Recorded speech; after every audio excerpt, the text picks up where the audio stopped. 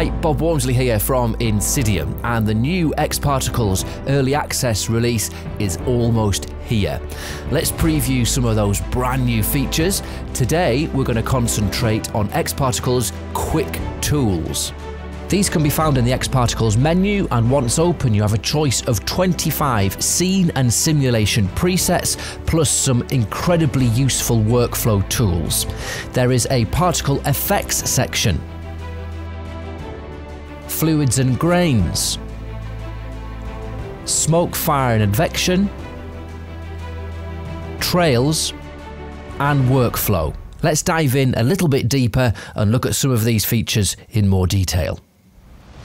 In this scene we have this model of a female bust and let's say we want this object to emit particles. Well now using the X-Particles quick tools we can do this in just one click. If I highlight the object and click on emit from object in the quick tools we get a new emitter that's been created and it's been set up to emit particles from the polygons of the object. Let's just delete that emitter. We can go one step further. If I select the polygon view, you can see that this model has a polygon selection of just the eyes. And we can see a polygon selection tag here on the model. Let's say we want to emit particles just from that polygon selection. Well, we can do that now with Quick Tools with one click. Let's highlight the model and we click on Emit from Selection. A new emitter is created automatically. And if we hit play, we can see that those particles are now only emitting from that polygon selection. We also have options to emit from the texture of an object and also to emit from a vertex map from any object. So an excellent workflow tool to help you set up your particle scenes more quickly. The X-Particles Quick Tools also give you some particle effects simulations which you can add to existing scenes to get commonly used particle effects like rain and snow. So let's just add some simple rain to this female bust scene. So we'll click on the simple rain preset and a couple of things are brought into our scene. We hit play. You can see we have a particle emitter which is emitting this rain. The rain is interacting with the floor and this sphere object and it is spawning these nice spray particles. So all we need to do is adjust this to get our female bust to interact as well. So if we just scroll down the other objects, uh, we will disable the sphere. Let's drag in our female bust into our connect and now this female bust is interacting with this rain and we're getting those nice splash particles where the raindrops are hitting. This of course is completely editable. Let's go to the emitter rain and we'll go to the attributes and we can um, decrease the birth rate for lighter rain, more of a shower. We can increase that way up to say 5,000 per second, so a much heavier rain shower. We could go to the uh, modifiers. Let's get the wind and increase the strength of that wind for more of a storm. So fully editable customizable scenes, but they are a quick one click setup to make sure you can add these commonly used particle effects to your scenes very quickly. There is also simple snow, a fireworks preset, and also dust, where you can simulate dust laying on scene objects. The XP Quick Tools Starter Pack gives you three fluid setups to get you going with commonly used scenes. Let's talk about condensation. In this scene we have an oil tank. Let's just say this is going to be our drinks can. So with the object highlighted, if we click on condensation, we are brought in a setup scene. And what this is, is a fluid effects fluid solve using some additional constraints to get this nice condensation look. This is set up to be draft quality to run in real time in your viewport to give you good visualization. This, of course, can be made higher res at render time. So that is the condensation preset. The Quick Tools fluid filament setting gives this fantastic fluid PBD simulation. It gives you these slow moving languid water globules joined by these really nice stretching tendrils. Fantastic for product shots. Let's just see how this might look in a render. We'll go to the generators. Let's bring in an open VDB mesher and we want to mesh these particles. So we'll drop in the emitter to the sources window.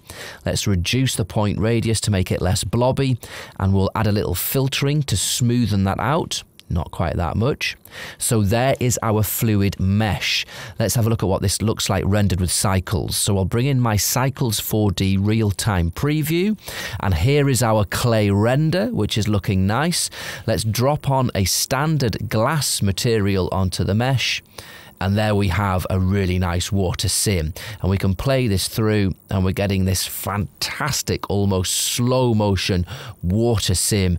Really good for those product shots the final Fluids quick tool is a Fluid FluidFX water body, and this brings you a perfect starting point for a more high resolution fluid simulation. We have an interactive cube, an emitter, a gravity object, and a Fluid FluidFX solver, and this is ready to go. So if we bring in an X particles modifier, let's bring in a turbulence, and what we'll do is we'll just up the strength of that turbulence, and we have with one click our interactive fluid body, which is the perfect starting point for those much higher res water simulations. The quick tools smoke, fire, and advection settings help you quickly set up Explosia FX simulations. In this scene, we want to make a shockwave from these source particles. All we need to do is click one button, highlight the XP emitter, click on EFX fire from particles, and then straight away, we have got the start of our sim, an Explosia FX domain, an Explosia FX source tag. The particles have been given the appropriate fuel value, and this is the perfect starting point to get that highly detailed shockwave sim. The Quick Tools Trails gives you four preset scenes which can be laborious to set up. First of all, create stunning branching simulations with one click, and these of course can be changed if we go to the emitter that's been created and go to the advanced tab. We can change the random seed, which is going to give you a completely different branched look. The Tendrils Quick tool also gives you a rather complex scene with one click. Here we've got these really nice generated tendrils which are moving around the place very nicely with this turbulence. Other quick tools for splines are a simulation for nearest distance, and a quick setup in case you want to make a simulation using network trails.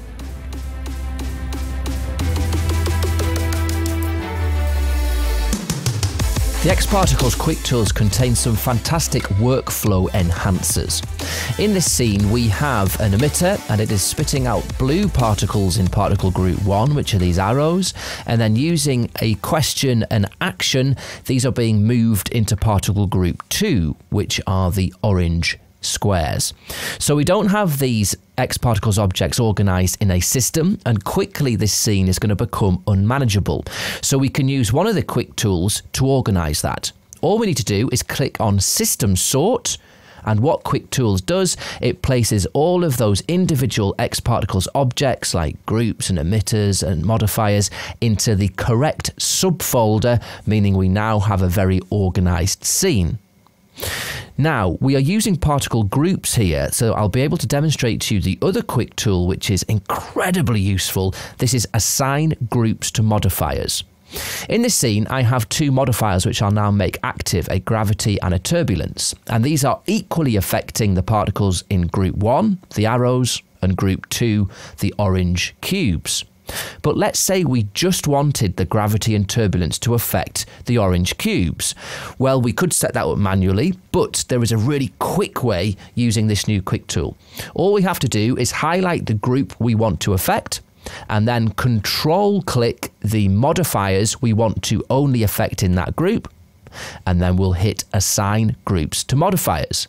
Click it once, and now you will see that the blue arrows in group 1 are unaffected by both the gravity and the turbulence, and it's only when they change groups to group 2 that the gravity and turbulence kick in. So, a very fast way of quickly assigning different modifiers to specific particle groups. There's a new quick tool to help you set up a one-click cache. In this scene, we've got this nice fluid PBD particle animation going around this spline flow, and we want to cache these particles. We also want to cache this open VDB mesher so we can start sorting out our rendering and lighting settings. So to do that, all we need to do is go to the quick tools and click on quick cache. This will ask which folder we want to cache these files to. So let's just go to documents and we'll make a new folder. Let's call it uh, fluid. We'll select that one and automatically the system starts caching. And what that is going to do is going to look through the scene and it'll cache any XParticles object which is cacheable. So that means it's going to cache this emitter and it's also going to cache this open VDB mesher. So we'll let this chug through until the end. It's got a few more seconds and then it'll be complete and then we will see what happens. A cache object will be brought in which will be turned red, which means that it has cache data and we have a cache tag on both the open VDB mesher and on the emitter. So if we just make the emitter invisible, now we can play through and we've got our open VDB mesh of our fluid and of course we can scrub backwards and forwards with this and we've also got our particles which have been cached to file as well. So an incredibly useful tool to speed up your workflow, quick cache. So that is XParticles Quick Tools, just one of the many new feature sets coming to the latest XParticles Early Access release. To find out exactly when it's out and you can get hold of your copy, then make sure you follow INSYDIUM on social media and also please subscribe to us on our YouTube channel for announcements as soon as they're published. That's it for now. See you next time.